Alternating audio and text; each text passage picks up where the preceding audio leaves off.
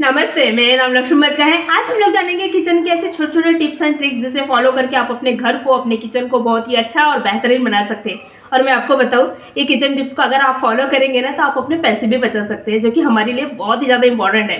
तो चलिए जानते हैं कौन से है वो टिप्स सबसे पहले टिप्स एंड ट्रिक्स है हमारे कैची को लेकर। अक्सर क्या होता है, कैची ज़्यादा हम लोग इस्तेमाल करते हैं तो कैची में जो कैची का जो धार रहता है, वो ना मतलब कि जल्दी जाने लगती है। तो भाई उसकी धार कैसे करें? बार बार तो हम मार्केट जा नहीं सकती कि धार करने के लिए। तो घर पे ही आप ये धार जो है, वो कर सकते हैं। तो करना क्या है नेल पेंट जो रहती है ना, वो कांच की रहती है, और जिसका जो लास्ट का पोर्शन रहता है ना, वो काफ़ी मतलब कि मोटा रहता है और कांच का रहता है तो उससे, उसकी सहायता से आप कैंची में धार जो है वो कर सकते तो आप देखिए, मैं कर रही हूँ तो ये हो मतलब कि इनको कंटिन्यू इस तरह से घसना है तो इसकी जो धार है कैंची की, वो एकदम शार्प हो जाती है।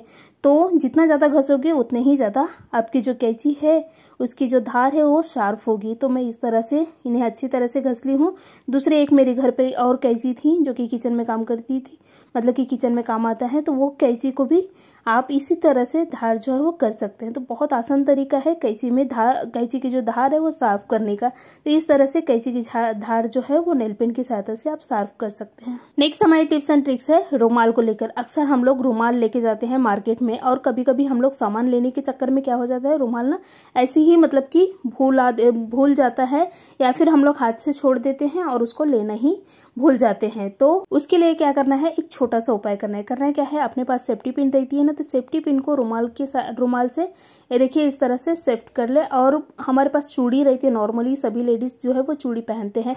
तो चूड़ी में सेफ्टी पिन की सहायता से इनको रुमाल को क्या कर ले, अच्छी तरह से लगा ले। और उसके बाद में आप पकड़ लोगे और कभी भी आप मार्केट जाओगे तो आप पकड़ के रखोगे और अगर छोड़ना है तो आप छोड़ भी सकते हैं लेकिन आपकी जो रुमाल है वो आपके साथ में ही रहेगी मतलब कि रहेगा नहीं आ, मार्केट में ही।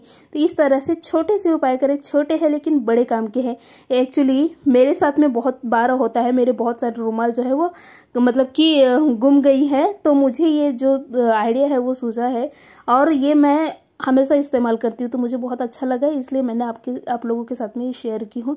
तो इस तरह से आप अपने रुमाल को सेफ्ट कर सकते हैं मतलब अपने ही पास रख सकते हैं।